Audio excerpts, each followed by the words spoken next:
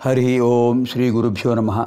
దైవభక్తి కార్యక్రమ సందర్శక మహాశైలందరికీ కూడా శుభాకాంక్షలు. నాడీ కేంద్రా శరీరస్థా అంగుళ్యగ్రేషు సంస్థితా నాడీ కేంద్రా శరీరస్థా అంగుళ్యగ్రేషు సంస్థితా.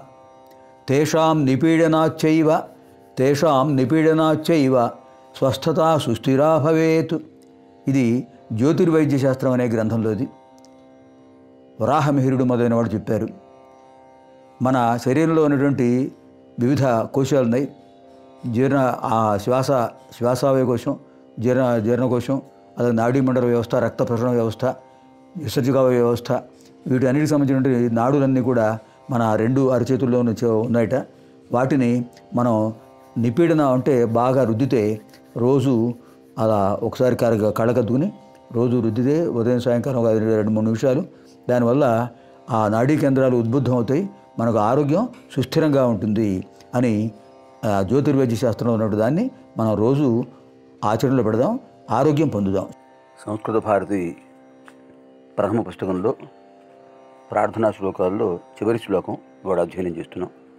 షష్ఠ పత్రమ సంఖ్య షష్ఠ పత్ర సంఖ్య సంస్కృత భారతి ప్రథమ పుస్తకం శ్లోక సంఖ్య షోడశం.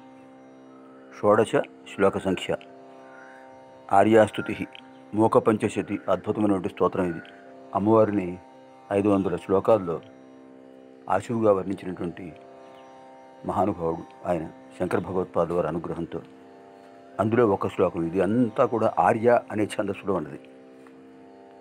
ఆర్య అనే ఛందస్సు గాయత్రి ఛందస్సు ఉష్ణిక్ ఛందస్సు అనుష్ఠుప్ ఛందస్సు అలాగే బృహతి ఛందస్సు పంక్తి ఛందస్సు త్రిష్ఠుప్ ఛందస్సు జగతి ఛందస్సు ఇలా ఛందస్సులు అనేక విధాలుగా ఉంటుంటాయి. వాటిలో ఆర్యా ఛందస్సు ఒకటి. ఇది మన తెలుగులో కందపద్యం లాంటిది. తెలుగులో కందపద్యంలో ఒకటి మూడు పాదాల్లో మూడేసి చతుర్మాత్ర గణాలు రెండు నాలుగు పాదాల్లో నాలుగు ఐదేసి చతుర్మాత్ర గణాలు ఉంటుంటాయి. అలాగ అనిపిస్తుంది ఇది ఇది కూడా.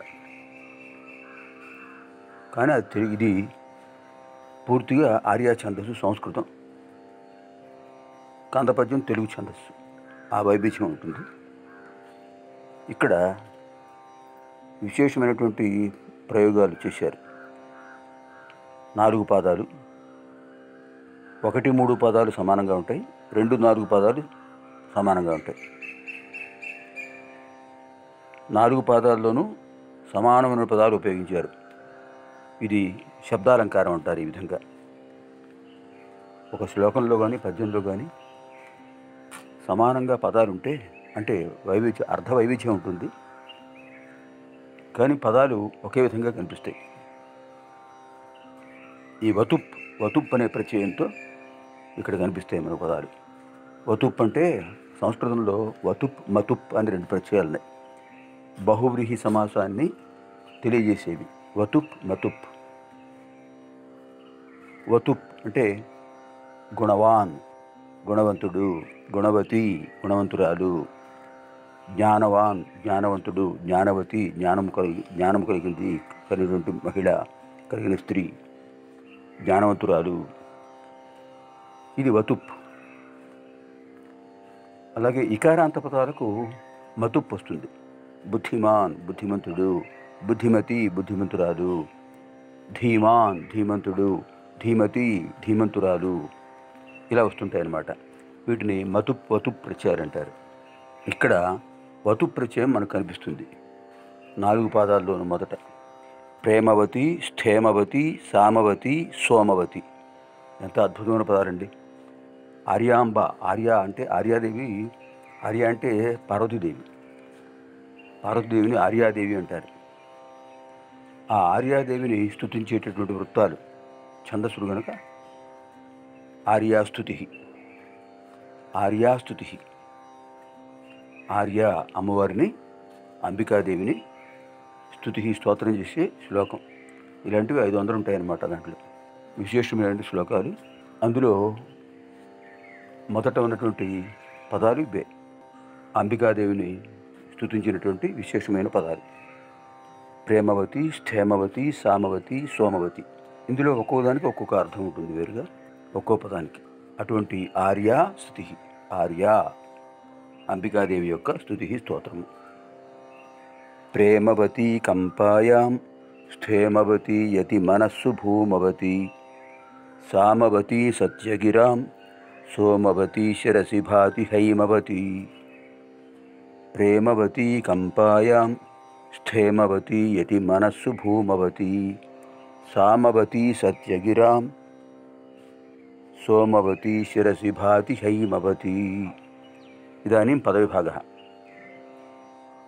ప్రేమవతి ప్రథమం కంపాయాం ద్వితీయం స్థేమవతి తృతీయం. యతి మనస్సు యతి మనస్సు.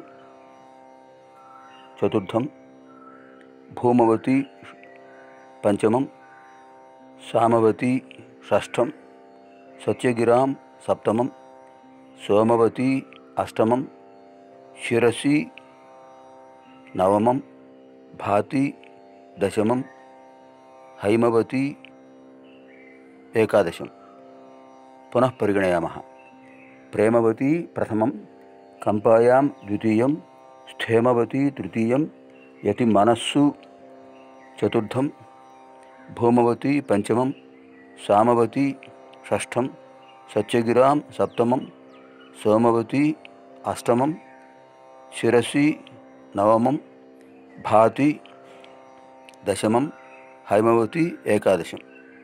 ఏకాదశపది అయం శ్లోక. అనంతరం అన్వయక్రమ. కంపాయాం ప్రేమవతి. కంపాయాం ప్రేమవతి. యతి మనస్సు స్థేమవతి భూమవతి. యతి మనస్సు స్థేమవతి భూమవతి. సత్యగిరాం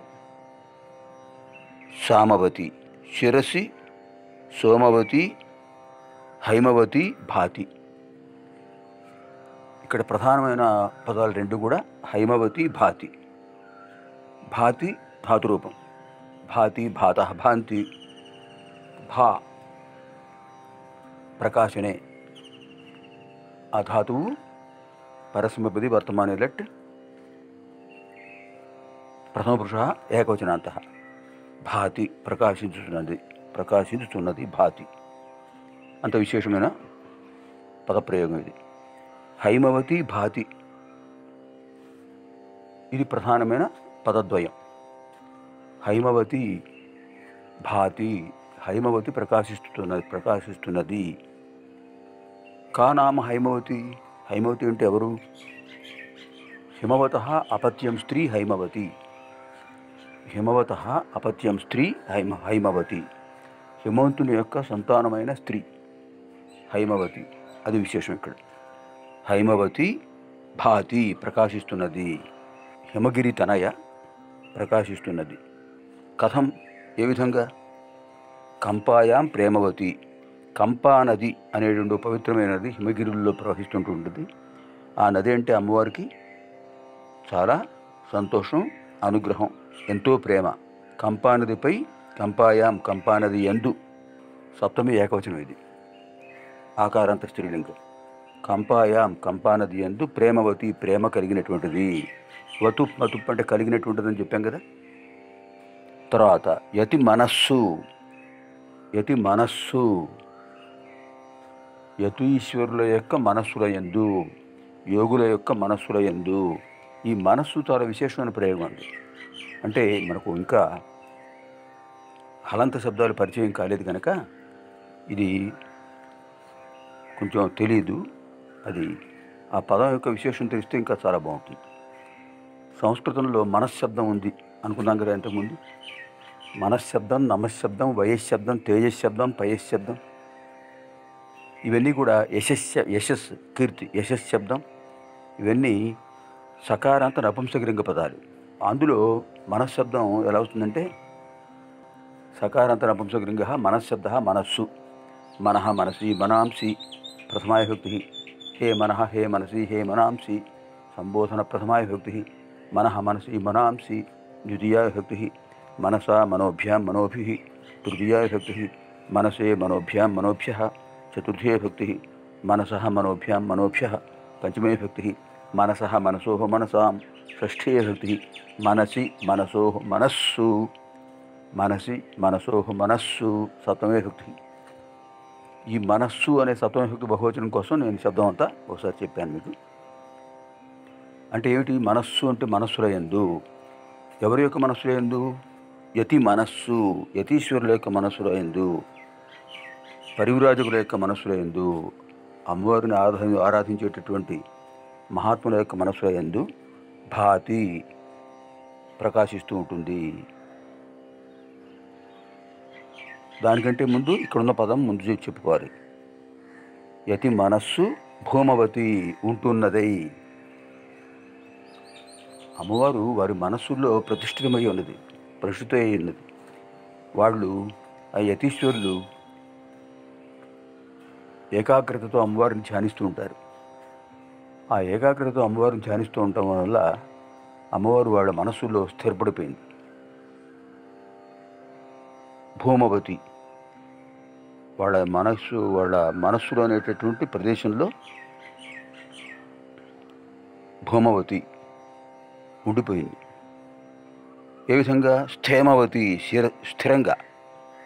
స్థిరంగా ఉండిపోయింది అంటే ఒకసారి వాళ్ళు అమ్మవారిని తమ ధ్యానంతో తమ హృదయాల్లో ప్రతిష్ఠించుకుంటే ఇంకా అక్కడి నుంచి ఆ ముద్ర చెరగదు. వారి మనస్సులో అమ్మవారు ఎప్పుడూ అలాగే ఉంటుంది. అది ఇక్కడ విశేషార్థం. భూమవతి స్థేమవతి. భూమవతి అక్కడ ఉంటున్నది స్థేమవతి స్థిరంగా ఉంటున్నది. స్థేమవతి భూమవతి స్థిరంగా ఉంటున్నది. ఎక్కడ? యతీశ్వరుల మనస్సుల్లో. ఇంకా సత్యగిరాం సామవతి. సత్యగిరాం అంటే సత్యవాక్కులు. గిరాం గిరాం అంటే గీర్ శబ్దం. గీహి గిరో గిరహ అని వస్తుంది రకారాంత శబ్దం హలంత శబ్దం. షష్ఠిలో గిరహ గిరోహ గిరాం అని వస్తుంది అంటే వాక్కుల యొక్క సత్యగ్రామ్ సత్యమ సత్యవంతములైన వాక్యముల యొక్క వాక్యములలో సామవతి. అంటే సత్యములైన వాక్కులు ఏమిటి? వేదవాక్కులు వేదమంత్రాలు. వాటిలో సామవతి సామవతి సామ మంత్రములు కలిగింది. మనకు వేదాలు నాలుగు ఉన్నాయి కదా? ఋగ్వేదం యజుర్వేదం సామవేదం అధర్వణ వేదం ఋగ్వేదం పూర్తిగా దేవతలను వర్ణించేటటువంటి రుక్కులు రుక్కు అంటే వర్ణించేటటువంటి మంత్రం అర్థం. ఆ రుక్ రుక్కులు అనేటటువంటి మంత్రాలు దేవతా వర్ణాక మంత్రాలు ఉంటే కనుక రుక్ వేదము ఋగ్వేదము ఆ మంత్రాలను ఆచరణలో యజ్ఞయాగాల్లోనూ షోడశోపచార పూజా కార్యక్రమాల్లోనూ ఆచరణలో పెట్టేటటువంటి ప్రక్రియను చెప్పేది యజుస్. యజుహు వేదం యజుర్వేదం యజ ఆరాధనే. దాంట్లోంచి వచ్చిందనమాట. అంటే దేవత ఆరాధనకు ఉపయోగించే మంత్రాలన్నీ కూడా యజుర్వేదంలో ఉంటాయి. తర్వాత ఇది మూడోది సామ. ఇప్పుడు దాని గురించి మనం చెప్పుకుంటున్నాం. సామ అంటే చిత్తశాంతిని చేకూర్చే మంత్రం. చిత్తశాంతిని చేకూర్చేటటువంటి విశేషమైన మంత్రాన్ని సామ అంటారు. అంటే మనశ్శాంతిని కలిగిస్తుంది. ఇంకో విశేషం ఏంటంటే ఈ సామ అనే మంత్రాలు ఇవి కూడా దేవతలను వర్ణించే మంత్రాలే స్తోత్రం. స్తోత్రములలో ఉన్నటువంటి మంత్రాలు. అవి సప్తస్వరాలతో కూడినవి. దీంట్లోంచి వచ్చిందే సంగీతం.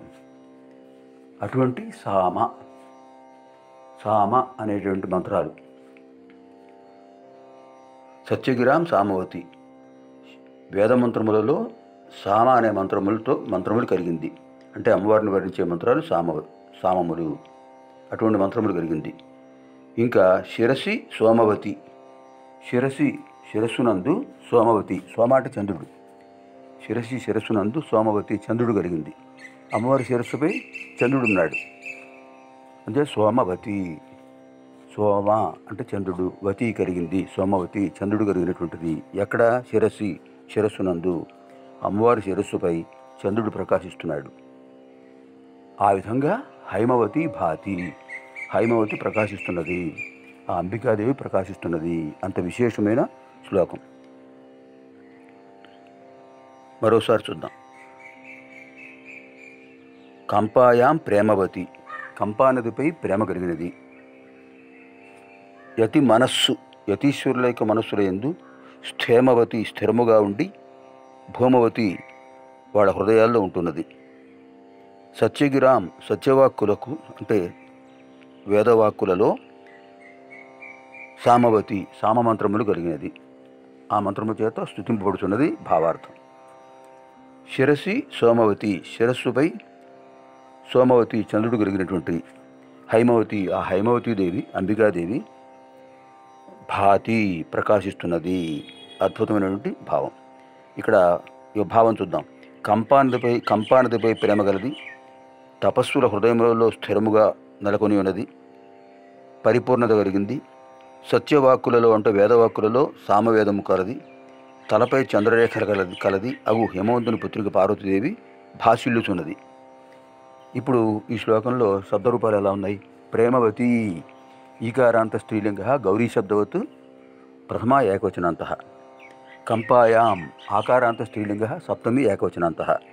స్థేమవతి ఈక ఈకారాంత స్త్రీలింగ గౌరీ శబ్దవత్ ప్రథమ ఏకవచనాంత యతి మనస్సు సకారాంత నపుంసకలింగ సప్తమీ బహువచనాంత భూమవతి ఈకారాంత స్త్రీలింగ ప్రథమ ఏకవచనాంత సామవతి ప్రథమ ఏకవచనాంత ఈకారాంత స్త్రీలింగ ప్రథమ ఏకవచనాంత సత్యగిరాం గీర్ శబ్ద హలంత షష్ఠీ బహువచనాంత సోమవతి ఈకారాంత స్త్రీలింగ గౌరీ శబ్దవత్ ప్రథమ ఏకవచనాంత శిరసి శిరశబ్ద ఇది కూడా మన ఈ మనశ్శబ్దం లాంటిది మనః మనసి మనాంసి శిరస్సు శిరహ శిరసి శిరాంసి సప్తమిలో శిరసి శిరసి శిరసోహ శిరస్సు అని వస్తుంది శిరసి సకారాంత నపుంసకలింగ సప్తమి ఏకవచనాంత భాతి భాధాతు పరస్మైపది వర్తమానే లెట్ ప్రథమ పురుష ఏకవచనాంత భాతి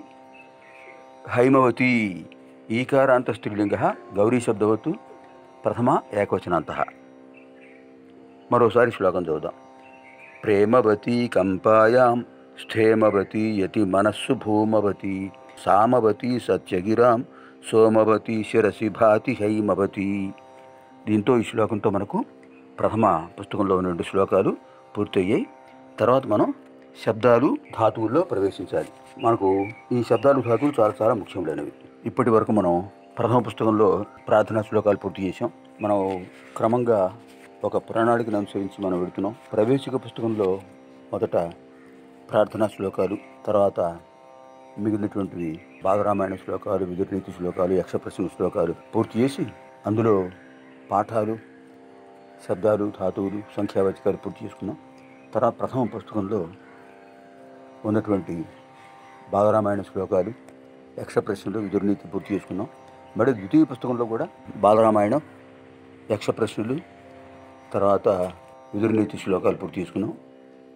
ఇప్పుడు ప్రథమ పుస్తకంలో మనం శబ్దాలు ప్రారంభం చేయాలి. సంస్కృత భాషకు చాలా ప్రధానమైన అంశం శబ్దాలు ధాతువులు కూడా. ఈ రెండు కూడా చాలా ప్రధానములైనవి. శబ్దాలు ధాతువులు మనం అధ్యయనం చేయకపోతే సంస్కృత భాష పరిపూర్ణం కాదు. ఒక శ్లోకానికి పదవిభాగం అన్వయక్రమం పదార్థోక్తి విశేషార్థాలు తెలుసుకోవాలంటే శబ్దాలు ధాతువులు రావాల్సిందే. ఇప్పుడు మనకు ప్రథమ పుస్తకంలో ఒకసారి విషయ సూచిక చూడండి. ప్రథమ పుస్తకంలో మొట్టమొదట విషయ సూచిక చూడండి. విషయ సూచిక ప్రథమ భాగ ప్రార్థనా శ్లోకా విదురనీతి యక్షప్రశ్నా బాలరామాయణం అయోధ్యకాండ బాలరామాయణం అరణ్యకాండ శబ్దమంజరి ధాతవ ఇప్పుడు మనం శబ్దమంజరి ధాతవ ఈ రెండు పరిశీలించాలి. ఇది అయిన తర్వాత మనం ద్వితీయ భాగంలో ప్రథమ ద్వితీయ తృతీయ చతుర్థ పంచమ షష్ఠ సప్తమ అష్టమ నవమ పాఠాలు. ప్రథమా కథ ద్వితీయ కథ తృతీయ కథ కథలు. తర్వాత సంఖ్యావాచకాలు కృత్ప్రత్యయాంత అని కృత్ప్రత్యయాంతం వీటిని కృదంతములు అంటారు. కృదంతములు చాలా విశేషమైనవి. కృత్ప్రత్యయాంతాలు ఇవన్నీ కనుక జాగ్రత్తగా మనం అధ్యయనం చేసినట్లయితే సంస్కృత భాషలో ఒక విశిష్టమైన ప్రాథమిక పరిజ్ఞానం కలుగుతుంది. అది మన సంస్కృత భారతి కుటుంబ సభ్యులందరికీ కలిగించాలనే ఒక సంకల్పంతో అమ్మవారి అనుగ్రహం. ఇది ఈ ప్రయత్నం. ఈ ప్రయత్నంలో అందరూ కూడా భాగస్వాములై అధ్యయన అధ్యాపన ప్రక్రియలో సహకరిస్తూ ఉన్నందుకు అందరికీ మరోమారు ధన్యవాదాలు సమర్పిస్తున్నాను. కారణం ఏంటంటే వినేవాడు లేకుండా ఉన్నప్పుడు వినేవాడు లేనప్పుడు చెప్పేవాడు ఉంటారా? ఏమిటి ఉపయోగం? అంచేత ఇంతమంది మీరు సంస్కృత భాషపై ఆసక్తితో ఏదో నాకు తెలిసినంతవరకు నేను చెప్తున్నాను నాపై ఉన్నటువంటి ఒక అనుకంప సహానుభూతితో వింటున్నారు కనుక మనందరినీ ఆ వాగ్దేవి అనుగ్రహించాలని ప్రార్థిస్తూ ఇప్పుడు మనం శబ్దమంజరిలో ప్రవేశిద్దాం. ఈ శబ్దమంజరిలో ప్రవేశించేటప్పుడు సరిగ్గా ఈ శబ్దం దేవనాగరిలో ఎలా ఉన్నది? అనేది మనం ఎప్పటికప్పుడు చూసుకుంటూ ఉండాలి. ఈ శబ్దం దేవనాగరిలో మనకు ఎలా కనిపిస్తుంది?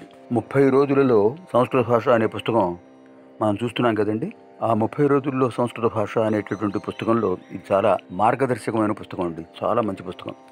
కారణం ఏంటంటే ఈ పుస్తకంలో ప్రారంభంలో మీరు చూశారో లేదో శ్రీ కాంచీ కామకోటి పీఠాధిపతి జగద్గురు శ్రీ శంకరాచార్య స్వాముల వారి శ్రీమఠం వారి ఆశీస్సు అందిందండి ఇక్కడ. కాంచీపురం మకాం కాంచీపురం తేదీ ఇరవై రెండు ఏడు డెబ్భై రెండు. అక్కడ శ్రీ శ్రీ శ్రీ చంద్రశేఖరేంద్ర సరస్వతి స్వామివారి ఆశీస్సు ఇక్కడ ఇచ్చారు. మనం ఇక్కడ చూడండి.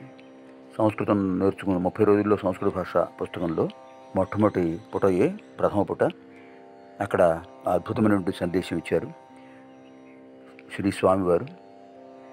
దివ్యశ్రీ. శ్రీ శ్రీ శ్రీ చంద్రశేఖరేంద్ర సరస్వతి స్వామివారు. మన ఏలూరులో ఉన్నటువంటి శ్రీ కాంచీ కామకోటి హేలాపురి సంస్కృత స్మార్త పాఠశాల స్మార్త ప్రయోగ పాఠశాల వారి అనుగ్రహమే. ఇప్పటికీ వారి వారు అందించేటటువంటి ఆర్థిక సహకారంతో నడుస్తున్నది ఈ పాఠశాల. వారు ఈ పాఠశాలలో చాతుర్మాస్య దీక్ష సమయంలో దీక్షా సమయంలో ఇక్కడ ఉండి అప్పుడు అప్పట్లో గురుకులవాస విద్యార్థులందరికీ కూడా అనుగ్రహ భాషణం చేసి వాళ్ళందరూ ఆశీర్వదించారు. ఆ మహానుభావులు ఈ పుస్తకానికి ఆశీస్సు ఇచ్చారు. మన భారతీయ సంస్కృతి సంప్రదాయములకు మన భారతీయ సంస్కృతి సంప్రదాయములు పునాది అయినది శ్రీ రామాయణం మహాభారతము అష్టాశ పురాణములు కాళిదాసు వంటి మహాకవుల నాటకములు కావ్యములు మొదలైన గ్రంథములు కలిగినది అయిన సంస్కృత భాషను ఆంధ్రభాష మూలముగా సులభరీతిలో నేర్చుకున్న కోరు వారికి నేర్చుకుని కోరుచున్న వారికి అనుకూలముగా చిత్తూరు సంస్కృత భాషా ప్రచారిణీ సభ పరీక్షా మంత్రియగు కిడాత్తూరు కీడాత్తూరు శ్రీ కె. శ్రీనివాసాచార్యుల వారిచే వ్రాయబడి మద్రాసు బాలాజీ ప్రకాశుల వలన ప్రకాశకుల వలన ప్రచురింపబడి ఉన్న ముప్పై రోజులలో సంస్కృత భాష అనే పుస్తకము నాలుగు విభాగములలో అక్షరములు దైనందిన వ్యవహారంలోని పదార్థములు అంటే పదములకు అర్థములు క్రియాకలాపములు వీటిని గుర్తించే పదములు కథలు వ్యాసములు సంభాషణలు వీరి వీ- నీతి శ్లోకములు అనువాదములకైన శబ్దములు శబ్దానుక్రమణిక మొదలగు విభాగములలో సులభ పద్ధ- పద్ధతిలో తెలుగు మూలంగా సంస్కృత భాషను నేర్చుకున్నట్టుకు సహాయకంగా ఉంటున్నది. ఆంధ్రము నేర్చిన ఆస్తికులు ఈ గ్రంథము ద్వారా సంస్కృత భాషను నేర్చుకుని ఈ భాషలోని కావ్యాదులను పఠించి ఫలితం నందుదురుగాక. శ్రీ జానకిరాముని బాలాజీ ప్రచురణాలయమన్ను ఇతోధికముగా కొన్ని గొప్ప గ్రంథములను ప్రచురించుచు అభివృద్ధి నందునుగాక ఇది ఆ స్వామివారు ఇచ్చినటువంటి దివ్యమైన ఆశీస్సు. ఇక్కడ మనకు చంద్రశేఖరేంద్ర సరస్వతి స్వామివారు తదనంతర ఆచార్యులు శ్రీ శ్రీ శ్రీ జయేంద్ర సరస్వతి వారు వారి యొక్క చిత్రపటాలు కూడా ఉన్నాయి. అంచేత ఇది దృష్టిలో పెట్టుకోవాలి. ఇక్కడ ఇప్పుడు రామశబ్దం మనకు ఈ పుస్తకంలో పత్ర సంఖ్య ద్వాత్రింశత్ ద్వాత్రింశత్తమ పత్ర సంఖ్య. ద్వాత్రింశత్తమ పత్ర సంఖ్య అంటే ముప్పై రెండు ముప్పై మూడులో రామశబ్దం ఉంది. పత్ర సంఖ్య త్రయస్త్రింశత్ ముప్పై మూడులో అకారాంత ఇంకో రామశబ్ద పూర్తిగా దేవనాగరి ఉంది. తర్వాత ముప్పై రెండులో అకారాంత పదాలు కొన్ని ఇచ్చారు రామ కృష్ణ వృక్ష గజ ఇవన్నీ కూడా మనం ప్రవేశికలో చదువుకున్నాం. మరోసారి గుర్తు చేసుకుందాం. సంస్కృత దేవనాగరి లిపిలో మనం రాయడం అభ్యాసం చేసుకోవాలండి. కారణం సంస్కృత భాషకు నిజమైన లిపి దేవనాగరియే. మనకు తెలుసుకోవడం కోసం తెలుగు లిపిలో సం- నేర్చుకుంటున్నాం.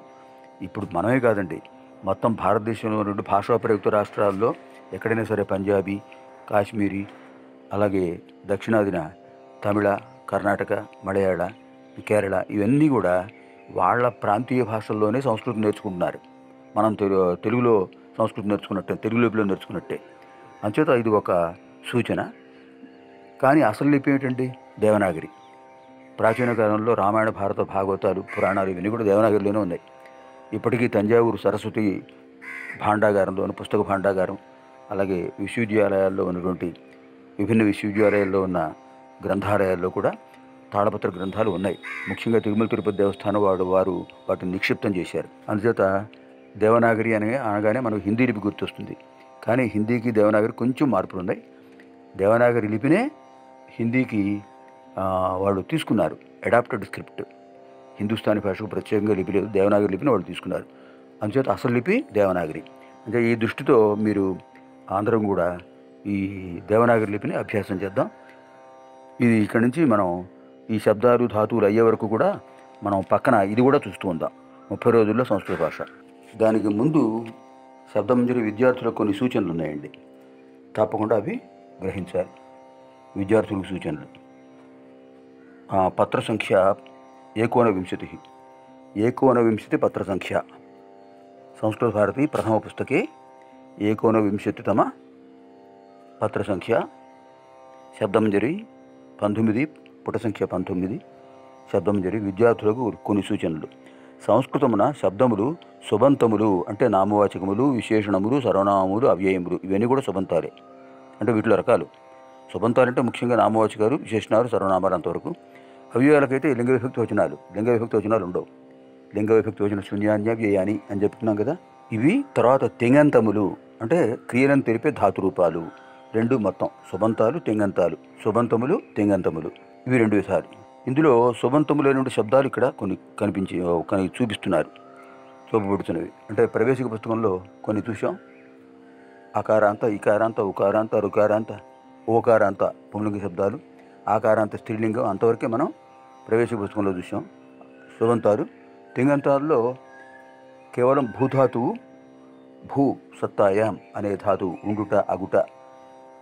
ఆ ధాతువు యొక్క రూపాలు వర్తమానే లట్ అంటే చతు లకార చతుష్టయం. వర్తమానే లట్ విద్యాధ్యాయ శిశు లోట్ అనజతన భూతే లంగ్ తర్వాత భవిష్యత్తు దృట్ ఆ నాలుగు మాత్రమే అభ్యాసం చేసాం ఇప్పుడు ఇక్కడ విశేషాలను కూడా తెలుసుకుంటాం. అంచేత మొత్తం మనకు సంస్కృతంలో మనం తెలుసుకోవాల్సిన పదాలు సుబంతాలు తింగంతాలు. తింగంతాలు అంటే ధాతు రూపాలు క్రియలు. శుభంతారు అంటే నామవాచకాలు ఉంటాయి విశేషణాలు ఉంటాయి సర్వనామాలు ఉంటాయి అవ్యయాలు వేరే. అది ఒక భాగం ప్రత్యేకంగా. ఇందులో శుభంతములకు శబ్దములు ఇతడు కొన్ని చూపబడుతున్నవి అవ్యయములు కూడా శుభంతములే అయ్యును. వాని రూపంలో ఎట్టి మార్పులు కలుగవు. అది ఇక్కడ మనం తెలుసుకోవాల్సింది. వాటిని కూడా మనం వ్యవహార శుభంతములనే వ్యవహరిస్తూ ఉంటాం. కానీ నామవాచకాలు సర్వనామాలు విశేషణాలు వాటికి ఉన్నట్టుగా అవయాలకు లింగహక్తి వచనాలు ఉండవు. ఆ ప్రత్యేకత ఉంటుంది. అదో ప్రత్యేక లక్షణం. కాన ఇతడు చూపవలసిన పని లేదు. అంచేది అవయాల గురించి ప్రత్యేకంగా ఇక్కడ చెప్పడం లేదు. ఇంకా ద్వితీయ గద్యాంశం పారాగ్రాఫ్ అని ఇంగ్లీష్లో ఏదంటామో దేనిది అంటామో అది సంస్కృతంలో గద్యాంశ అంటారు. ఇప్పుడు ద్వితీయ గద్యాంశంలో ఏం చెప్తున్నారు? ఈ శబ్దములు అజంతములు హలంతములు అని రెండు విధములు. అచ్ అంతములు అజంతములు అచ్చులతో ముగిసేటటువంటి పదాలు. రామ హరి గురు ధాతృ పితృ మాతృ గో రమ గౌరీ ఇలాంటివన్నీ కూడా అచ్ అంతములు అచ్చులు చివర ఉన్నటువంటి పదాలు. ఇక్కడ చెప్పారుగా రామ అకారాంతం హరి ఇకారాంతం రమా ఆకారాంతం మొన్నగునవి.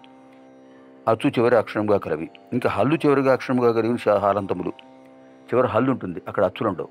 హల్లు చివర ఉన్నటువంటి హాలంతములు అవి ఏమిటి భిషజ్ జలముచ్ మొదటి జలముచ్.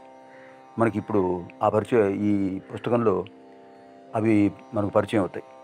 జలముచ్ భిషజ్ గిర్ మనస్ భిష- జలముచ్ చకారాంతం. చివరి చకారం ఉంది కదండి? చకారాంతం జలముచ్. భిషజ్ అంటే చివరి జా ఉంది కానీ జకారాంతం గిర్ మామూలుగా గీర్ శబ్దం అంటారు దీన్ని. గీహి. గీహి గిరవు గిరహ అని వస్తుంది. గీర్ శబ్దం అది చివరి రకారం ఉంటుంది. మనస్సు చివరి సకారం ఉంటుంది కనుక మనస్సు ఇంతకుముందు అనుకున్నాం. మనశ్శబ్దం గురించి ప్రార్థనా శ్లోకంలో. ఇట్లే అకారాంతము అనగా అకారము చివర ఉన్న శబ్దము ఉదాహరణ రామ హర ఇత్యాదులు. రుకారాంతం అనగా రు చివర ఉన్న శబ్దము ఉదాహరణ పితృ మాతృ ఇత్యాదులు. సంస్కృతం ఇవి ఇవన్నీ కూడా మనకు ఇందులో కనిపిస్తాయి. సంస్కృతమున శబ్దములకు లింగములు మూడు. సాధారణంగా పుంవాచకములు అంటే పురుషులంతో పెట్టేటువంటి పుంలింగములు స్త్రీవాచకములు స్త్రీలింగములు. రెండిటికి చెందనివి నపుంసకములు నపుంస నపుంసక లింగములు. కానీ కొన్ని చోట్ల ఈ నియమం వర్ణించదు వర్తించదు. ఇది ప్రత్యేకంగా గరు గమనించాలి. పుంవాచకము కూడా నపుంసకలింగమగుటకు ఉదాహరణము. మిత్రం. మిత్- అది సంస్కృత భాషలో ఉన్న ప్రత్యేకత. మిత్రం చెలికాడు అంటే స్నేహితుడు. ఇది పుంలింగంలో అర్థం చెప్తున్నాం కానీ పదం మాత్రం నపుంసకలింగం. మిత్రం మిత్రే మిత్రాణి అని వస్తుంది నపుంసకలింగం. కానీ అర్థం మాత్రం పుంలింగ అర్థం చెప్తుంటాం. అలాగే స్త్రీవాచకము పుంలింగము అగుటకు ఉదాహరణము. స్త్రీవాచకం ఉంది. అది పుంలింగం అవుతుంది. ఉదాహరణ దారాహ. దారాహ అంటే భార్య. అది పుంలింగంలో అనిపిస్తుంది. పుంలింగ పదం. కానీ అర్థం మాత్రం భార్య అని చెప్తాం. మరొకటి స్త్రీవాచకము నపుంసకము ఒకటి ఉదాహరణ కళత్రం. కళత్రం ఇది కూడా భార్య అని అర్థం. స్త్రీవాచకము. కానీ అది పం- పదం నపుంసకలింగం. కళత్రం కళత్రే కళత్రాని నపుంసకలింగ శబ్దం చెప్తాం. కానీ దానికి అర్థం ఏమిటి? భార్య. ఇలాంటివి ఎలా తెలుసుకోవాలంటే అనుభవైక వేద్యములు. అందుకనే గురుముఖత సంస్కృతం నేర్చుకోవాలనేది ఓ సంప్రదాయం. పుస్తకం చూసి నేర్చుకుంటే అది పూర్తిగా పరిజ్ఞానం రాదు. గురుముఖత ఇది నేర్చుకోవాలి. అది పైగా అనుభవంలో వస్తుంది. ఏవి ములింగారు ఏవి స్త్రీలింగారు నపుసంగారు అనేవి ఇంకా వచనములు సంస్కృతం ఉన్న వచనములు మూడు. ఒక వ్యక్తిని తెలుపునది ఏకవచనము. ఇద్దరిని లేక రెంటిని తెలుపునది ద్వివచనం. ఇంతకుముందు ప్రవేశ శబ్దాల్లో వీటి గురించి తెలుసుకున్నాం. రెంటిని మించిన వా దానిని అంటే మూడు అంతకంటే ఎక్కువ. బహువచనము. ద్వివచనము సంస్కృత భాషలో మాత్రమే కనిపించును. ఇది బాగా గుర్తుపెట్టుకోరండి ప్రపంచంలో వందలాది భాషలు ఉన్నాయి అన్ని భాషల్లోనూ ద్వివచనం ఉన్నటువంటి భాష కేవలం సంస్కృత భాష. దైవ భాష అమర భాష సురభాష గీర్వాణ భాష. అది సంస్కృత భాషలో ఉన్న ప్రత్యేకత. ఒకళ్ళు చెప్పేటప్పుడు ఏకవచనం. ధాతువు అయినా సరే నామవాచకమైనా సర్వమైన సర్వమైనా సరే. ఇద్దరు చెప్పేటప్పుడు ద్వచనం. ముగ్గురు అంతకంటే ఎక్కువ చెప్పేటప్పుడు బహువచనం. ఇది గమనించాలి. తర్వాత ఇప్పుడు పుట సంఖ్య ఇరవై. వింశతితమ పత్ర సంఖ్య విభక్తులు ఏడు. సంబోధన ప్రథమమును కూడా లెక్కించినచో లెక్కించినచో ఎనిమిది. ఎనిమిది విభక్తులు. తెలుగులో వీటి ప్రత్యయాలు ఈ క్రింద తెలుపబడుతున్నవి. ప్రత్యయములు విభక్తి. డు ము ఊలు డు ము ఊ లు. ప్రథమా విభక్తి. ఎక్కడొస్తాయి ఈ ప్రత్యయాలు? రామ రాముడు వృక్ష వృక్షము గౌహు గోశబ్ద గోహు గౌహు గోవు అలాగే గురుహు గురువు. బహువచనంలో అన్నిటికీ లు వస్తుంది. వృక్షాహ వృక్షములు గావహ గోవులు రమాహ రమలు ఇలా బహువచనం లు వస్తుంది. ఇంకా నిన్ నున్ లన్ కూర్చి గురించి ద్వితీయ కర్తృవాచకం ఎప్పుడు ప్రథమలో ఉంటుంది. కర్త ఎప్పుడు ప్రథమలో ఉంటుంది. కర్మ ద్వితీయ ద్వితీయాభిక్తిలో ఉంటుంది. ప్రథమాభిక్తిలో ఉన్న పదాలన్నీ కూడా కర్తృ పదాలు కర్తృవాచకాలు ఇంగ్లీష్లో సబ్జెక్ట్ అంటాం సరే అవి. కర్మవాచకాలు ఆబ్జెక్ట్.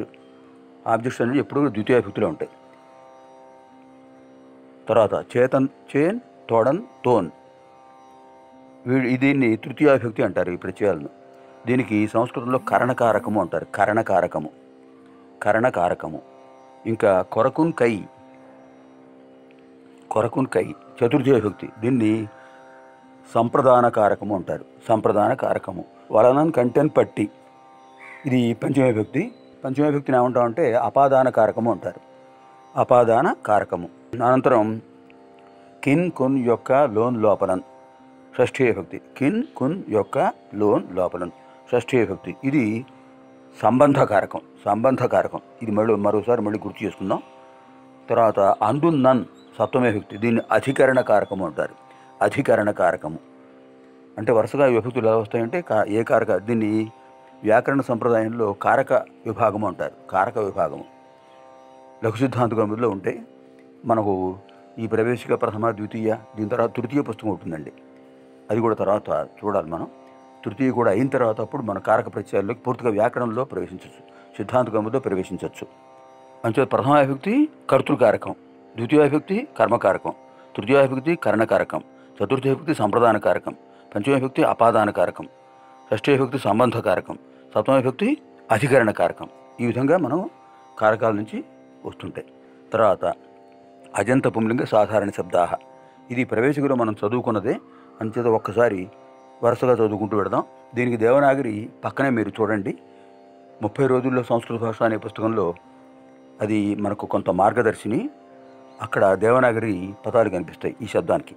అజంత పుంలింగ సాధారణ శబ్దాహ అకారాంత పుంలింగో రామశబ్ద రాముడు ఏకవచనం ద్వివచనం బహువచనం రామ రామౌ రామా ప్రథమా విభక్తి హే రామ హే రామౌ హే రామా సంబోధన ప్రథమా విభక్తి రామం రామౌ రామాన్ ద్వితీయా విభక్తి రామేణ రామాభ్యాం రామై తృతీయా విభక్తి రామాయ రామాభ్యాం రామేభ్య చతుర్థీ విభక్తి రామాత్ రామాభ్యాం రామేభ్య పంచమే విభక్తి రామస్య రామయో రామాణం షష్ఠే విభక్తి రామే రామయో రామేషు సప్తమే విభక్తి ఏవం కృష్ణ గోవింద ముకుంద శివ అన్ని అకారాంతాలు నిలయ వృక్ష సాగర పర్వత ఎన్నో వస్తుంటాయి చివరకారం ఉన్న పదాలని కూడా ఇత్యాదయ మొదలైనవి. ఏవం అంటే ఈ విధంగా ఏవం ఈ విధంగా?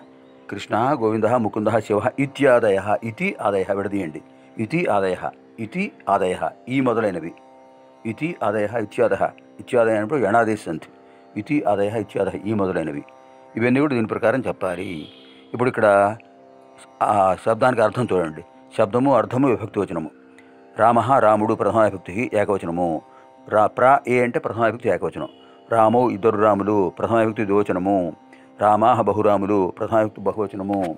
తర్వాత ఏకవింశతితమ పత్ర సంఖ్య ఏకవింశతితమ పత్ర సంఖ్య ఇరవై ఒకటి పట సంఖ్య హే రామ ఓ రామ. సం ప్ర ఏ అంటే సంబోధన ప్రథమ ఏకవచనము. హే రామౌ ఓ ఇద్దరు రాములారా సంబోధన ప్రథమ ద్వివచనము. హే రామా ఓ బహురాములారా సంబోధన ప్రథమ బహువచనము. రామం రాముని గురించి రాముని అంటే గురించి అని చెప్పుకోవచ్చు. రాముని ద్వితీయ ఏకవచనము. రామౌ ఇద్దరు రాములను ద్వితీయ ద్వివచనము. రామాన్ బహురాములను ద్వితీయ బహువచనము. రామేణ రామునిచే తృతీయ ఏకవచనము. రామాభ్యాం ఇద్దరు రాములచే తృతీయ ద్వివచనము. రామై బహురాములచే తృతీయ బహువచనము. రామాయ రాముని కొరకు చతుర్థి ఏకవచనము. రామాభ్యాం ఇద్దరు రాముల కొరకు చతుర్థి ద్వివచనము. రామేభ్య బహురాముల కొరకు చతుర్థి బహువచనము. రామాత్తు రాముని వలన పంచమి ఏకవచనము రామాభ్యాం ఇద్దరు రాముల వలన పంచమి ద్వివచనము రామేభ్య బహురాముల వలన పంచమి బహువచనము రామస్య రాముని యొక్క షష్ఠి ఏకవచనము రామయో ఇద్దరు రాముల యొక్క షష్ఠి ద్వివచనము రామాణం బహురాముల యొక్క షష్ఠి బహువచనము రామే రాముని ఎందు సప్తమి ఏకవచనము రామయో ఇద్దరు రాముల ఎందు సప్తమి ద్వివచనము రామేషు బహురాముల ఎందు సప్తమి బహువచనము. ఈ విధంగా మనం శబ్దము అర్థము గ్రహించుకుంటూ ప్రతి శబ్దానికి ఇలా అన్వయం చేసుకుంటూ ఆ అర్థాలు మనం చెప్పుకుంటూ ఉంటే మనకు సంస్కృత భాషా పరిజ్ఞానం మరికొంత సులభం అవుతుంది. ఇప్పుడు హరిశబ్దం తర్వాత మూడవ శబ్దం శంభు శబ్దం నాలుగు ధాతు శబ్దం ఐదు పితృశబ్దం ఆరు గోశబ్దం దీంతో మనకు పుమలింగ శబ్దాలు అవుతాయి. ప్రథమలో అవి మనం రేపటి విభాగంలో చెప్పుకుందాం. పునర్మిలామహ ఆగామి కార్యక్రమే శ్వహ ఇంతవరకు మీరు పాఠం విన్నారు కదా? ఆ గీర్వాణ భారతి మాత యొక్క అనుగ్రహం పొందాలంటే మనం ఏం చేయాలి? ప్రతిరోజు శబ్దాలు ధాతువులు అభ్యాసం చేయాలి. అభ్యాసమే విద్యా కౌశలానికి కారణమవుతుంది. అలాగే రేపు మరికొన్ని వాక్యాలు కూడా నేర్చుకుందాం. శుభం భవతు స్వస్తి.